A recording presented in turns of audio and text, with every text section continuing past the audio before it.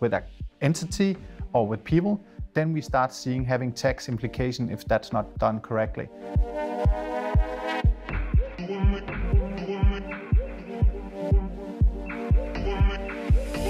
We see two different ways of going abroad. Either they do what we call export, export, sorry, so they, they export services or goods abroad, and that's very good, and you can keep that for a long time. But what we also see is when people want to be closer to customers, either because they want to have local presence with an entity or with people, then we start seeing having tax implication if that's not done correctly. Groups need to decide whether they want to export to a market or whether they want to be local with clients, having local company number, having local management that, then they need to decide what to do from a legal and tax point of view.